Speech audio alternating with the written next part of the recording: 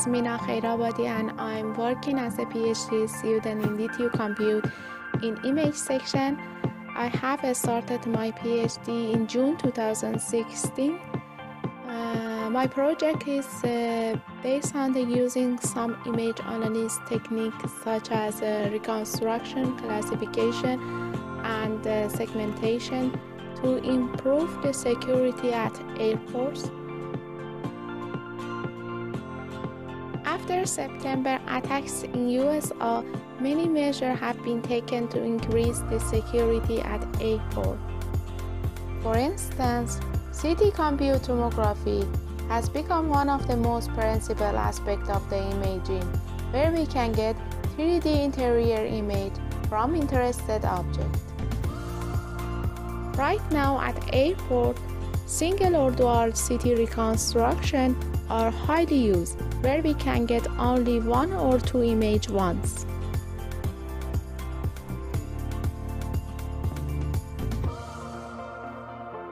In our project, uh, we are exploring a new kind of the detector called MultiX detector, which provides us more image once.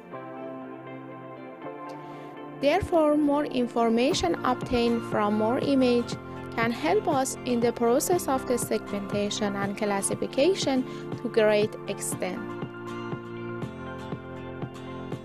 In this project, four other PhD and postdoc students are also working in DTU physics and compute. We usually have meeting every second week where we can discuss about different aspects of the project.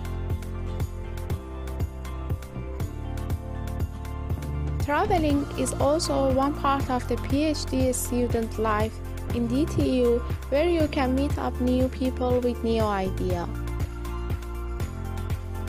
I really enjoyed being a PhD student in DTU Compute and I think if you are interested in research, I would recommend you to pursue your dream of being a PhD student in DTU. Thanks for your attention and goodbye.